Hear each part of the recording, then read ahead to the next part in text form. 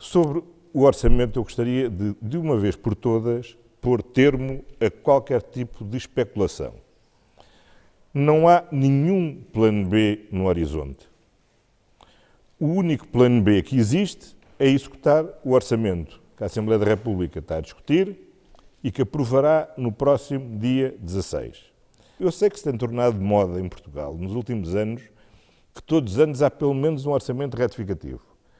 Mas nós tudo faremos para que, neste espírito de regresso à normalidade, que aliás ontem tão bem o seu tal Presidente da República sinalizou, o país também volte a ter simplesmente um orçamento por ano e seja capaz de executar o orçamento que é aprovado.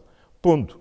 Portanto, não vale a pena especularmos o que é que acontece se o petróleo eh, tiver outra trajetória de evolução do seu preço.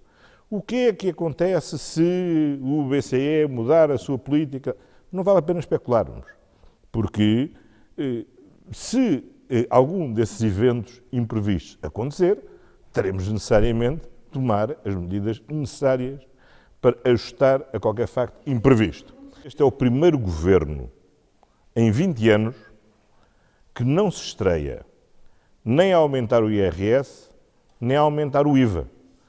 Pelo contrário, baixamos o IRS eliminando a sobretaxa para a quase totalidade das famílias e, relativamente ao IVA, a única intervenção é a sua redução no IVA da restauração. Não vale a pena todos os dias perguntarem onde é que está o plano B, porque já expliquei, o plano B é executar o plano A.